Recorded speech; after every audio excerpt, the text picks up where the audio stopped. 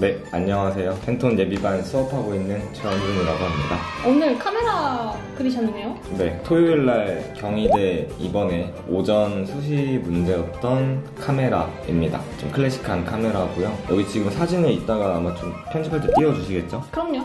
네, 이게 자바라 주름으로 돼 있어서 저 네. 덮개를 열고 닫으면 렌즈가 튀어나왔다가 음. 들어갔다가 하는 그런 옛날식 카메라네요. 네, 그쵸. 그거 이미지 검색에다가 주름 카메라 아니면 뭐 자바라 카메라 치면은 나옵니다. 비슷한 것들이 음. 나오고요. 소묘도 이거였고 디자인도 요거 카메라 활용해서 하는 건데 좀 아마 어려웠을 것 같아요. 그리고 아, 이게 시간 안에 다 그리기가 사실 너무 복잡한 요소들이 많아서 조금 계획을 잘 세웠어야 되지 않았을까 하는 생각이. 네, 그런 생각이 또 들고요. 네. 근데 좀 의도는 네. 명백하게 어느 정도 좀 있었던 것 같아요. 아, 그러니까 블랙 물체? 네 블랙 물체인데 같이 나온 소재가 흰색 네. 이상한 수면 양말 같은 귀여운. 네, 뭐 수면 양말인지 장갑인지 아, 네. 그거잖아요. 그래서 아마 화이트랑 블랙이랑 명도 대비를 확실하게 주는 게 아마 좀 의도였을 것 같고 다들 그렇게 풀었을 것 같습니다. 그냥 양말 위에다가 카메라 올려가지고 명도 차이를 준다던가 아마 그렇게 풀었겠죠 다들. 어, 카메라 한번 당일날 바로 그려봤고요. 근데 카메라는 오히려 뭐 할만했을 것 같아요 사실. 어, 그런가요? 또박또박 잘만 그리면 자동으로 묘사의 밀도가 올라가는 소재여서 음. 할만했을 것 같은데 저는 되게 불만이었던 게 네. 흰색 네. 같이 나온 거 있잖아요. 네. 이게 사진으로만 봤을 때는 정확히 어떤 무늬인지 맞아요. 어떤 맞아요. 형태인지 뭐 양말인지 그러니까요. 장갑인지 판단이 정확히 안 되더라고요. 뒷부분 형태도 아예 너무 모호해가지고 네. 지연해서 그려야 되는. 사실 카메라는 어떤 시점으로만 찍혀져 있지만 옆에 사- 살짝 나오는데 나머지 요소들 다 유추가 된단 말이에요. 기능적으로도 설명이 다 되고 사진만으로도.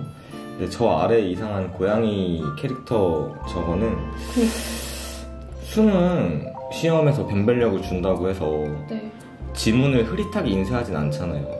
정확하게 디자인적 요소들을 파악할 수 있게 사진을 정확하게 찍어놓고 그거를 이제 오. 애들이 활용할 수 있게끔 해줘야지 저렇게 모호하게 하는 건 좀 좀 이해가 잘 안 되더라.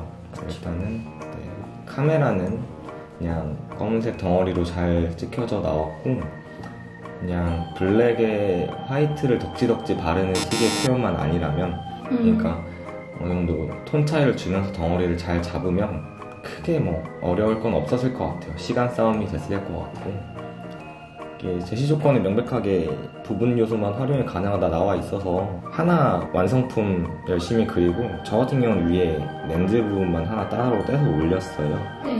그래서 아마 카메라를 전체를 다 그려서 화면을 채우기엔 조금 시간상 무리가 있지 않을까 싶었죠. 그래서 부분만 좀 활용을 해서 같이 넣어봤고요. 네. 네, 그렇습니다. 블랙 물체의 덩어리를 잡는 꿀팁이 있나요, 혹시? 꿀팁까지는 아니고 사실 당연한 건데 네. 어두운 거를 그냥 블랙 덕지덕지 아까도 얘기했지만 그리고 화이트로 외곽 쭉쭉 따버리고 그렇게 해버리면은 어떤 실제감 있는 덩어리감이 좀 안 나겠죠.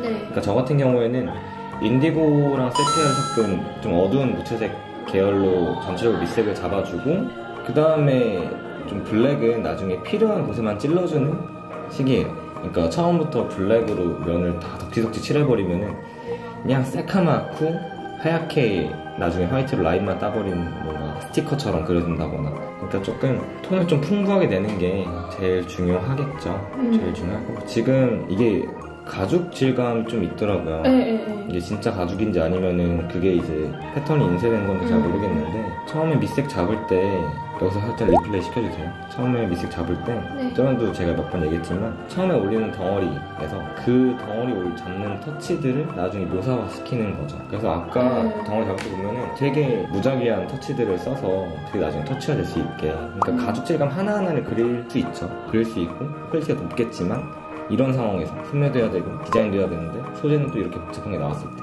일일이 가죽을 그리기 시간상 어려울 수 있으니까 시간을 따져보면 음. 처음에 터치는 어느 정도 묘사화 시켜놓고 나중에 그걸 살짝 좀 느낌을 내주는 식으로 하는 게 시간 싸움에서는 좀 더 효율적이지 않을까 싶어서 그렇게 진행을 했어요. 가죽 음. 하나하나 갈라진 것까지 다 그리기 좀 어려울 것 같아서 귀찮기도 했고. 네.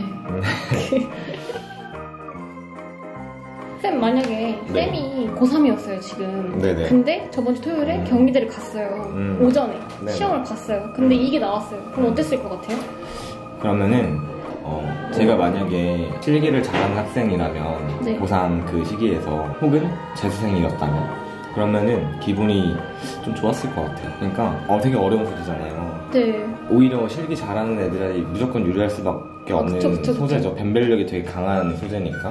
그래서 어중간한 실력을 가지고 있는 친구들이 어중간하게 쉬운 소재로만 연습을 해왔다면 사실 여기서는 이제 딱 실력 격차가 확실하게 보일 수밖에 없는 소재인 음. 거죠. 형태도 그렇고 색감도 그렇고 그리고 경희대라는 학교 자체의 어떤 시험 조건들, 음. 소묘나 이런 것들 같이 해야 되는 빨리 해야 되고 네네.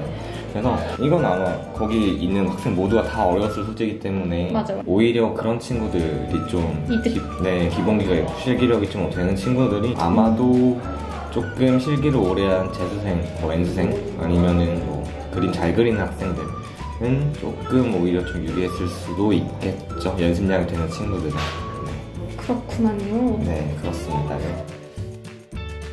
그럼 이렇게 네 이렇게 후다닥 이제 당일날 네. 네, 소재지 이거 나왔다는 얘기 듣고 바로 그려봤는데 그 다음 또 오후 또 뭐 나왔죠? 그 네. 이상한 전구 6개 들어있는 박스랑 쥐, 귀여운 네, 쥐. 무슨 철사인가? 뭐 이상한 네, 쥐 이상한- 나왔는데 그거는 제가 그릴지 안 그릴지 잘 모르겠는데. 귀찮아 귀찮아요. 아, 너무 너무 진 빠져서 요즘. 아, 지금 기력이 없어 기력이. 그림 되게 열심히 그리시더라고요 그래서 예, 그리고 뭐 또 다음 학교들이 있으니까 좀 재밌어 보이는 소재 나오면 또 바로바로 한번 네, 해보도록 자주 하겠습니다. 그려주세요 네 자주 그려볼게요 네, 그러면 다 우리 자주 만나는 걸로 하고 이렇게 네네. 인사를 해볼까요? 그럼 안녕. 안녕